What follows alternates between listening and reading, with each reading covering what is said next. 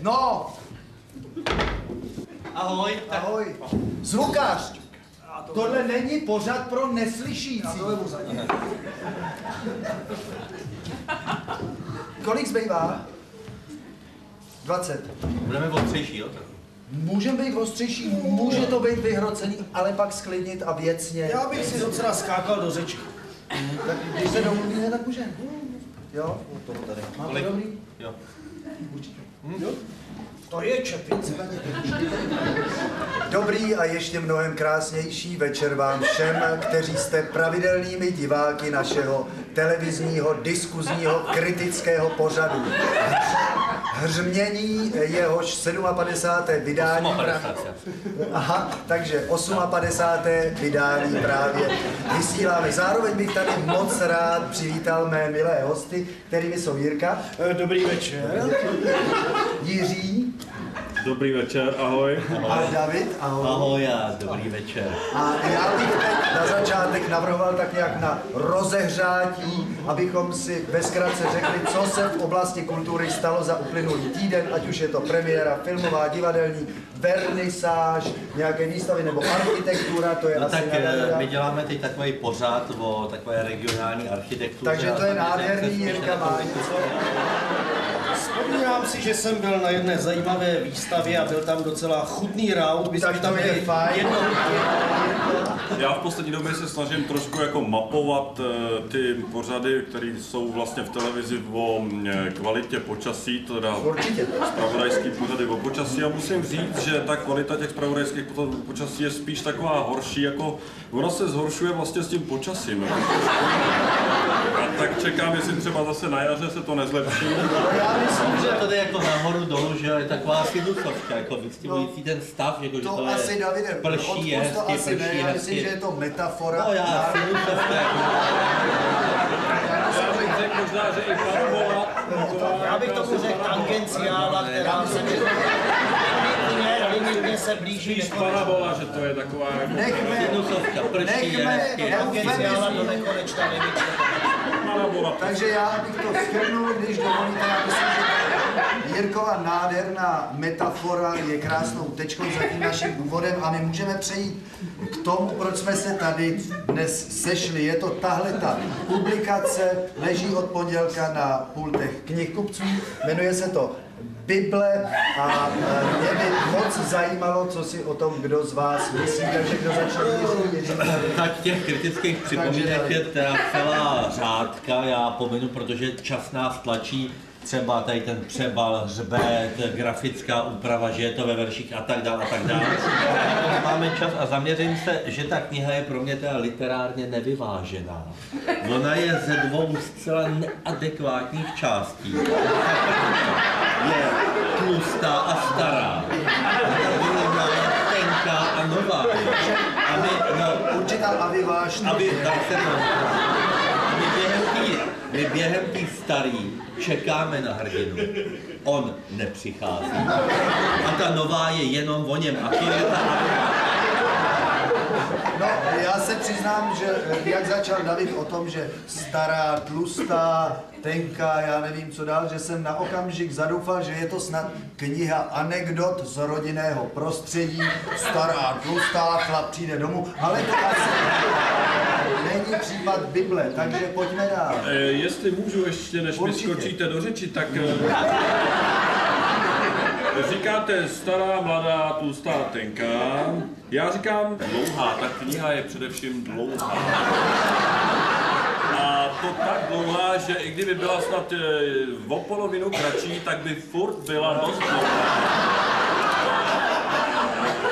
To, co si myslím, že je, je taková hlavní výtka v tomhle, tak je velké množství postav. Tam je nepřehledné množství Přečti nějakou, podívej se na jakoukoliv stránku a já myslím, že těch postav tam bude. Tak eh, tady toho dne hospodin, no ten se vyskytuje, musím říct teda častěji, A přitom hospodyně tam není ani jedno. že hospodina k Jeremiáš Sitkiášovi, pak je tady Sitkiáš, Nebukadnasarovi, to ani nejde přečíst, Sitkiáš. Už ale nemusíš, já dnes si nepamatuju vůbec, co si říkal před chvilkou. Svého strýce, to už aby si člověk maloval graf, projekt. Jakýsi strom. Takže na tom se asi shodneme, že to množství postav je velký problém téhle Bible. A já jsem to slyšel skutečně na každém kroku, ale já si dovolím jmenovat jedno jméno z naší české literatury v téhle souvislosti. A to jméno zní, prosím vás pěkně, Sekora. A Sekora... Sekora pro mě znamená desítky, možná stovky, možná tisíce postav, ale já se v nich orientuji. Já vím, že tamhle ta postava nese jehličíčko tam. Jiná postava zase nese mršinku, vo- vosky, vosičky, ale vosy. tam já jdu s nimi, vyvíjím se, Evoluj, evol- evoluj, evoluji. evoluj. To není eufemismus, tak evoluji s postavami. Já kolikrát i evakuuji. Nahoru eskalátoru. Ale já musím říct, že Já jsem jednou i No, ejakuloval. nechám.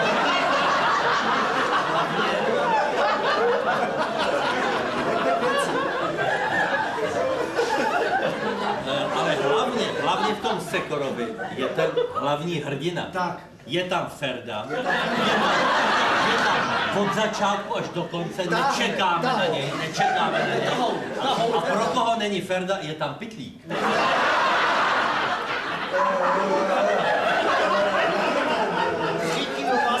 Potápník! Potápník, Potápník, je jak ta- krásná A potom postava, archetyp ženy, to je ta... To je ta Beru- Beruška. Beruška. Beruška, blond, blondětý archetyp ženy se se Šnek, šnek, no, koní, krásný. krásný. Svatý Ferda. Asi by se slušelo říct. Svatý Ferda. Přesně tak, jak říkáte.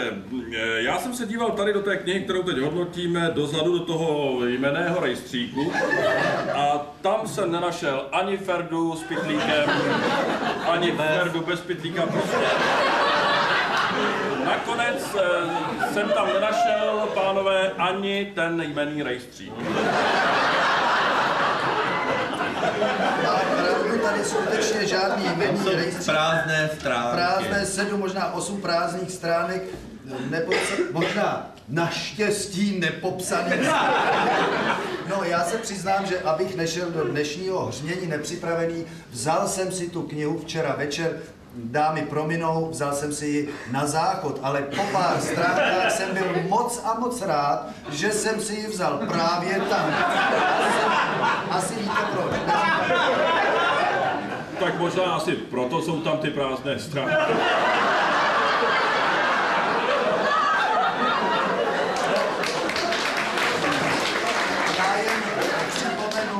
Našim divákům, kteří přišli později, že si povídáme o Bibli, pojďme dál.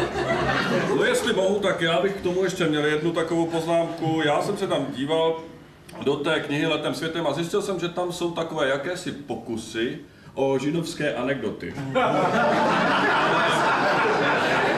Přeči nějaký frk. Musím říct, že ani jedna nemá dobře vystavěnou pointu, že ani jedna e, není ta anekdota, že by se jí dalo nějak smát. jo. Můžu? No, Pojďme si zkusit jednu. Jednou vyháněl Ježíš zlého ducha z němého člověka. No tak takhle se přece vtipy o duchu ani o němém člověku nestaví. Ne, Tato špatnou vyhánění. ne. Takže kniha, kniha židovských anekdot to tedy také není. Takže co to vlastně je? Já bych k tomu ještě chtěl říct, jsou tam ty prázdné stránky a hned zatím, jestli se podíváte, je celá řada map. Eh, Přátelé, podívejme se na ty mapy eh, a řekněte mě, jestli je možné podle této mapy se někam dostat. Na jedno místo možná. O tom nebudu hovořit, tady chybí prostě třeba benzínová čerpadla, Motoresty.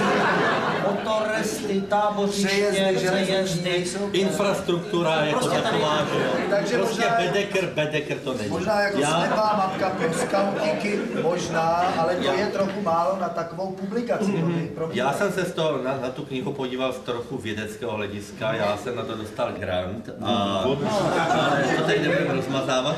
A já jsem se zaměřil na tu situaci, jak Mojžíš vyvádí lid izraelský z Egypta. Možíš vyvádí. By mohlo být dobré. přijde k moři, přijde k moři, nakročí, to moře se před ním roztoupí a on suchou nohou přejde na Sinajský poloostrov. Já jsem jel do Chorvatska, přišel jsem nakročím, čekám, že to moře se roztoupí a já jsem tam zahučel až po krk. V té knize neplatí základní fyzikální zákony. učebnice také ne. Jestli něco můžu říct, tak ta kniha je prostě postavená na vodě. A já musím říct, že jestli tak se jí nedá věřit, jestli něco. Ale co jsme se teďka tady na tu knihu nakladli, tak já bych to zahrnul takového jednoho ránku připomínek, který by mohl být v takovém jednom šuplíku. Ale připomínku, kterou mám teď, tu bych eh, skoro dal nad ten šuplík. Stručně, prosím. Eh, Dobře, jestli, eh, a vy to dobře víte, jestli já někdy něco napíšu, což se může snadno stát, tak eh, se pod to vždycky podepíšu. To víme. A jestli se podíváte tady do té knihy, eh, i když teď mě napadá, kdybych takovouhle knihu napsal, tak eh,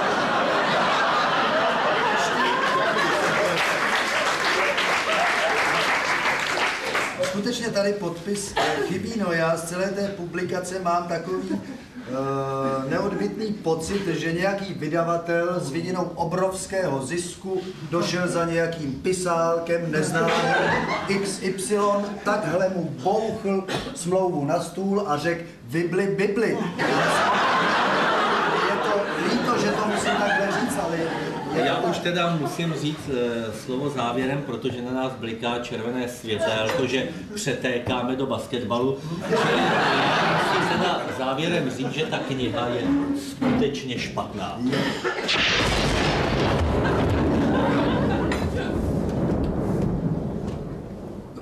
No, e, já myslím, že David se, se maličko ukvapil ve svém soudu na tu knížku. Já sám za sebe si rozhodně nemyslím, že ta kniha je špatná. To ne, maximálně snad vyšla v nešťastnou dobu. To je, to je všechno.